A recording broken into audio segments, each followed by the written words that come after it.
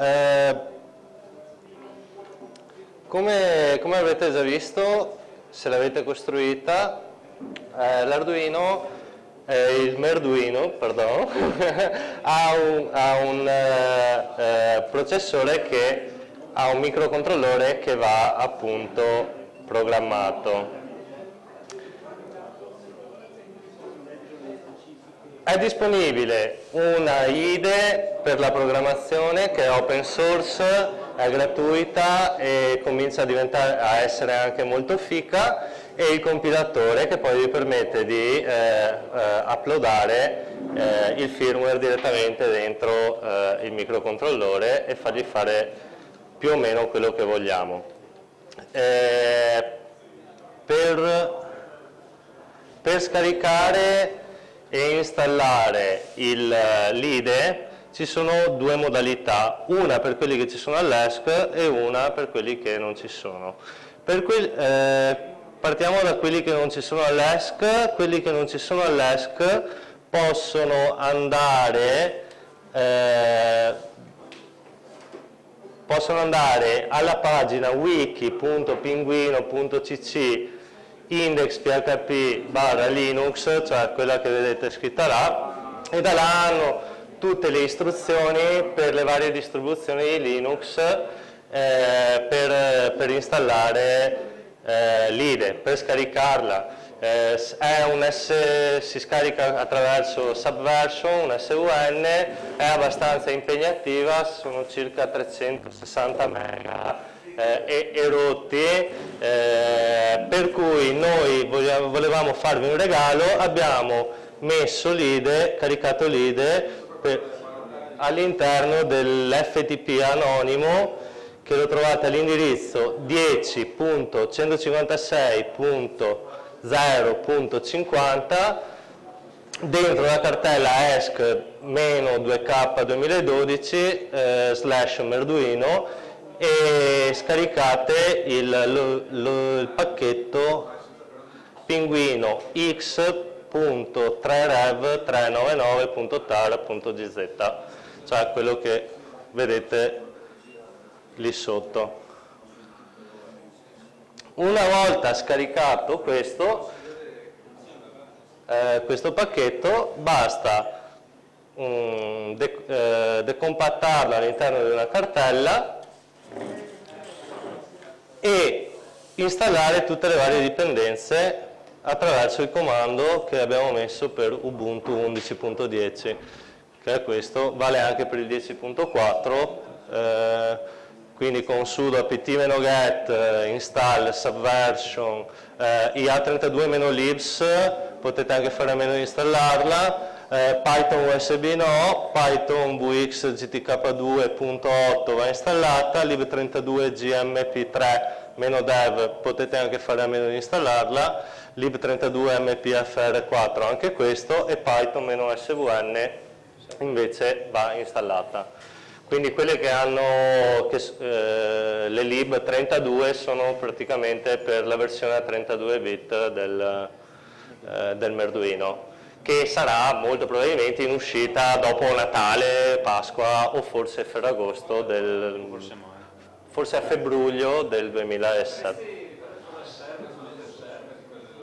Allora, tutte quelle che hanno la scritta 32 sono molto importanti e molto fiche, però potete anche fare a meno di installarle.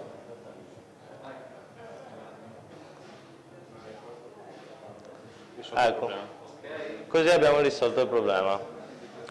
Quindi se lanciate questo comando intanto vi portate avanti con, con le dipendenze. Una volta installate queste cose e mh, mm, andate all'interno della cartella dove avete decompattato pinguino x3 rev 99.tar.gz e all'interno di della cartella trovate un po' di file tra i quali il più importante è quello che vi dà più attenzione è pinguino.py è, dimmi.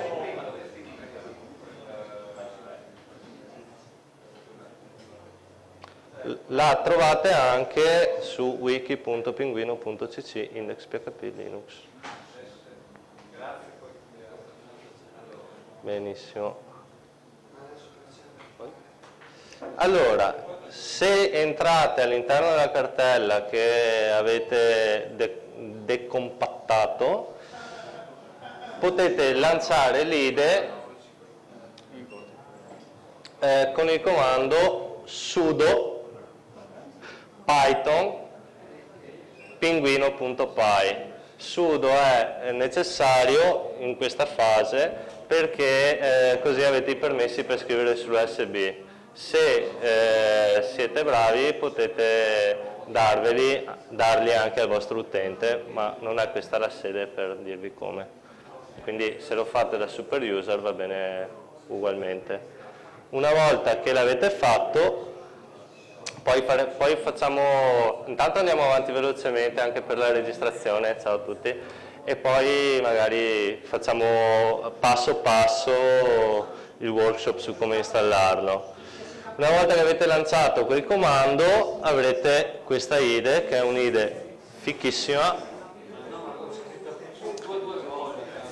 eh, con, del, con, queste icone qua, eh, questa soprattutto aprite i file, poi un'altra che che vi, sarà sicuramente necessaria interessante è questa che serve per compilare il listato che scrivete qua e questa serve per uploadare eh, il compilato all'interno all sì, all del, um, del microcontrollore. Una cosa importante, qui potete scegliere eh, la piattaforma, eh, il, insomma, qua, per quale microcontrollore andate a compilare. E il nostro Merduino è in realtà un pinguino 2550. Quindi dovete scegliere questo prima di farla partire. E a questo punto possiamo prendere un merduino in mano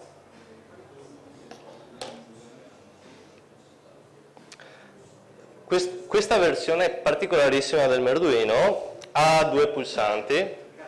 Sopra, sopra uno c'è scritto reset. Il pulsante reset serve a mettere il, eh, la board in modalità mm, bootloader. Messa in modalità bootloader rende possibile eh, caricare il firmware all'interno del, del microcontrollore. La schiacciate, avete 3 secondi di numero per, eh, per fare l'upload, dopo 3 secondi lo sketch o il programma, chiamatelo come volete, parte e, e esegue le cose. Allora, durante, eh, dopo l'introduzione faremo il un esempio, vi, vi descrivo brevemente, vi descrivo uh, Basic, Blink, Blink PDF. Allora, brevemente eh, pro, i programmi sono, sono, hanno due funzioni principali che sono quelle più importanti, che è quella di setup che è void, cioè non ritorna nessun risultato, e quella di loop, che anche questa è void, non ritorna risultati e serve eh, a, a, iterare, è il, ciclo principale. In setup invece andiamo semplicemente a, eh, di, sì, a inizializzare l'applicazione. La, eh, qua particolarmente questo qua è lo sketch proprio base, è l'hello world del mondo eh, del, dell'elettronica dei, dei, microcontrollori, cioè il LED che blinka. Per far linkare, linkare un black, un, per far blinkare un LED bisogna innanzitutto eh, inizializzare il ping che eh, in modalità output o input ovviamente eh, in modalità output sarà un pin di output e viceversa. Qua abbiamo fatto qualcosina di più, cioè abbiamo eh, definito una costante ping che è il pin 13, è una cosa che in programmazione si fa spesso e aiuta molto perché poi basta cambiare il, basta cambiare, eh, il pin di riferimento e non serve modificare tutto lo sketch. Eh, il pin è sul 12 che esce il 12 e quindi noi andiamo a mettere sul 12 ecco qua. Allora una volta modificato, visto, verificato eccetera possiamo mandare in compilazione il, lo sketch eh, il programma. Qui sotto avete eh, qui vi, vi dà delle utili informazioni. Una volta compilato bisogna mandare in modalità bootloader si spegne la lucina, abbiamo 3 secondi e resta acceso. No, no, si spegne. Si spegne. Uh, Eccolo qua.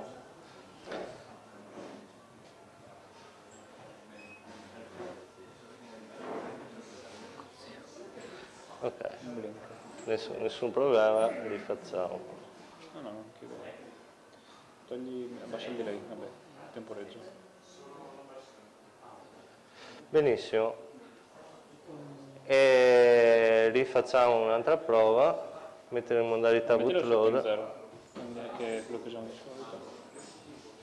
Sul pin 0. Ok. Compiliamo.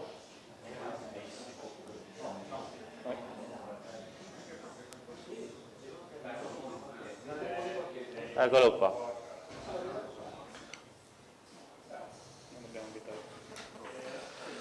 Il Merduino eh, viene distribuito con, comodi, con, delle comode vitine, dei comodi connettori a vite che noi non stiamo utilizzando perché siamo in modalità cazzarola senza cacciavite, senza cacciavite, cacciavite free o cacciavite less.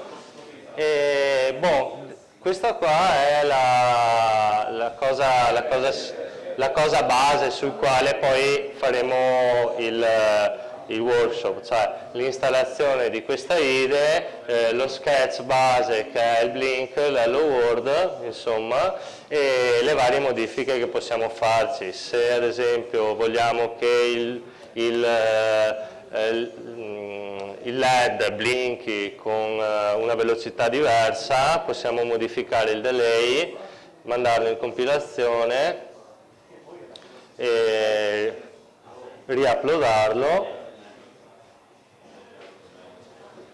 e lui blinka con una, una velocità diversa. Questo è quello base. Da qua eh, che, cosa, che cosa è stato fatto? Da, soprattutto dal grande e buon Zippo che si è messo in copyright eh, stretto e vincolante a vita. E ha, eh, abbiamo cercato di creare un, eh, un mini protocollo che permetta eh, praticamente di non dover rifleshare il firmware del Merduino ogni qualvolta eh, ci serva accendere o spegnere un link o comunque, sì, o comunque usarlo insomma, eh, con, con, Linux. Eh, questo protocollo attraverso delle chiamate eh, dire, dirette all'USB, quindi questa è un'altra un diversità abbastanza importante tra il Merduino e l'Arduino. Eh, L'Arduino comunica ehm, eh, seria, attraverso l'USB ma come una porta seriale. Voi quando, siete, eh, quando, quando, attaccate un Arduino al vostro computer molto probabilmente per parlarci insieme dovete andare sulla TTY USB 0, 1 o eh, quello che è. Qui invece andiamo a parlare, andiamo a scrivere e leggere direttamente dall'USB. Eh, è una cosa un po' più advanced ma è molto più figa perché puoi leggere e scrivere eh, in, in, diciamo in maniera anche concorrente tutta una serie di robe fighe. Allora, eh, per fare questo, per fare questo eh, c'è un, un, protocollo poi, del quale poi troverete tutte le specifiche sul, sul sito dell'ESC eh, e, e, e, troverete anche lo sketch base sia sull'FTP che, eh, che sul sito. Da questo eh, noi avevamo scelto Lua, Lua come, come, linguaggio di alto livello interpretato e che ha un footprint, un footprint proprio basso, eh, molto veloce, molto performante e, e con questo possiamo vedere eh, un esempio di, di, come poi viene implementato il protocollo di comunicazione col Merduino, il Merduin Protocol, e, e, come si possono fare delle cose veramente interessanti come un alcol test per una festa che ti può cambiare la vita.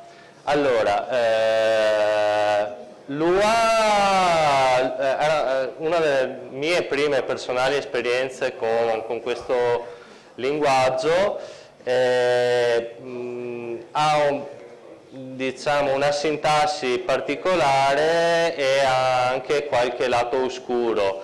Detto questo ti permette di sviluppare in maniera abbastanza veloce e indolore eh, soprattutto per i sistemi embedded, cioè tu scrivi il codice una volta sola, non devi compilarlo per architetture diverse perché c'è l'interprete che eh, esegue il codice. Eh, sarebbe tutto molto bello se non fosse che per parlare con eh, l'USB eh, l'UA ha bisogno di un binding per, eh, per lib USB e che va compilato per le diverse architetture, quindi già questo è un po' un controsenso e eh, porta via tempo e fa cadere un po' tutto almeno dal mio punto di vista, eh, gran parte di quelli che dovrebbero essere i vantaggi dell'usare l'UA ma siamo partiti così, eh, siamo andati avanti così, quindi ri, eh, qui all'inizio viene richiamata quest, questo binding per lib USB e, eh, viene praticamente, c'è una funzione che trova il merduino, eh, ecco la, co la cosa importante qui è che l'id del vendor e il product ID sono, eh, sono quelli che vedete qui e che vi serviranno sia in Lua che in Python che probabilmente in C per riconoscere eh, la periferica e per poi parlarci insieme. Viene praticamente identificato un handler, l'handler che, eh, che poi è utilizzato sia per le scritture che per le letture. Vediamo semplicemente un esempio di eh, come si va a scrivere sulla, sulla USB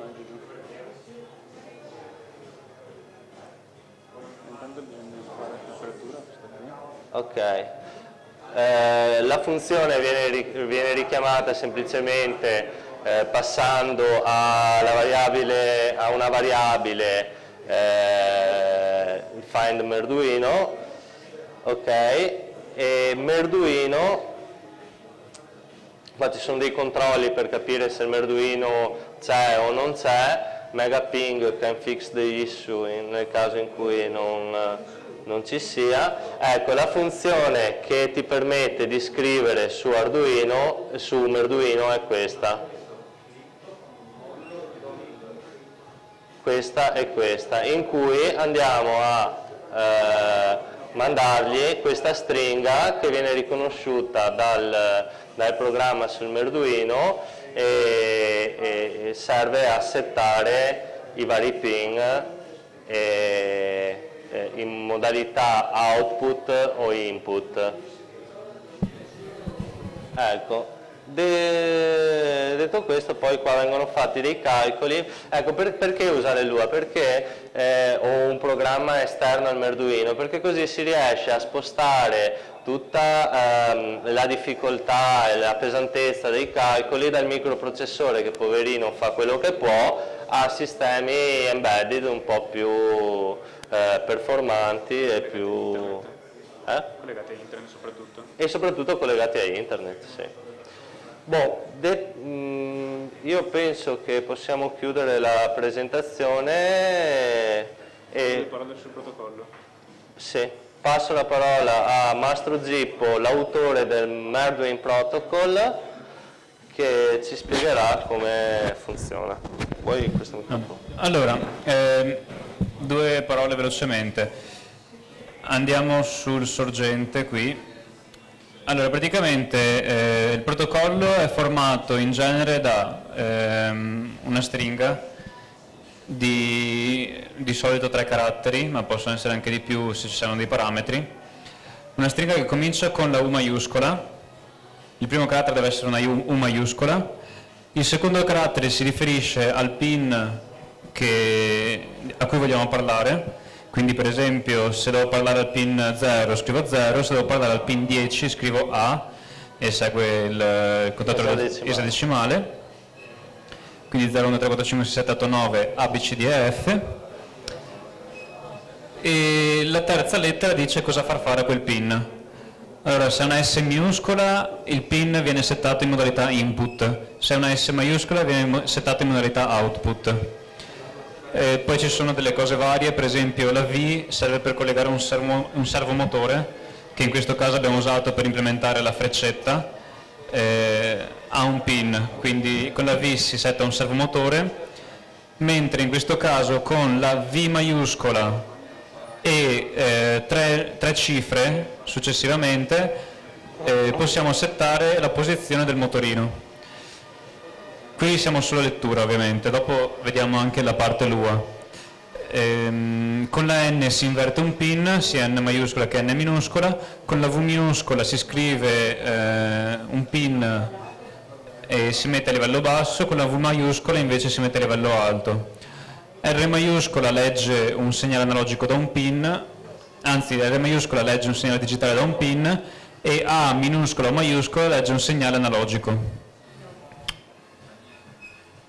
Resta al lettore l'esercizio di implementare la comunicazione seriale I4C o SPI.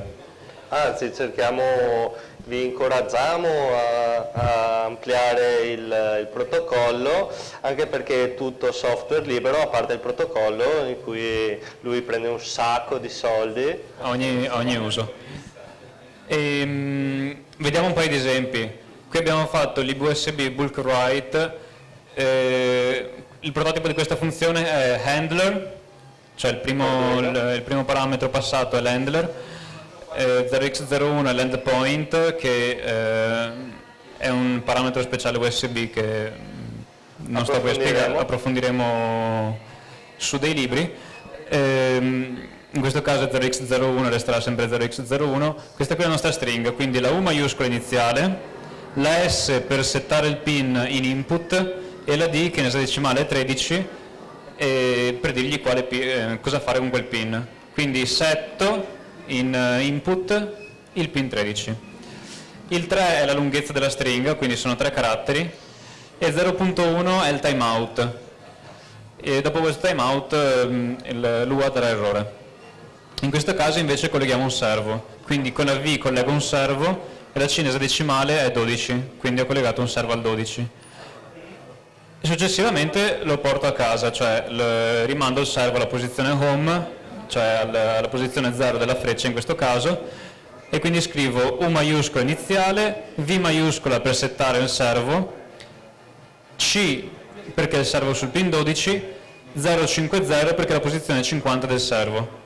Eh, le posizioni le, le troviamo sperimentalmente, io qua per esempio ho scritto 4 righe per metterle in diversi posti, per mettere il servo in diversi posti e poi segnarmi dove mettere le freccettine per creare questo bellissimo grafico. Ci sono delle domande?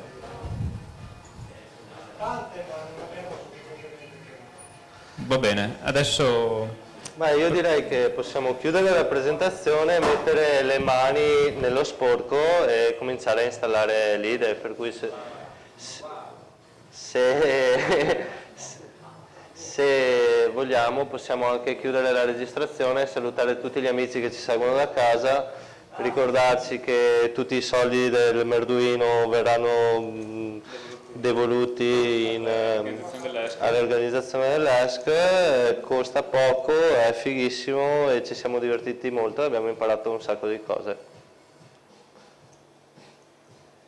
Possiamo chiudere, grazie. Thank you.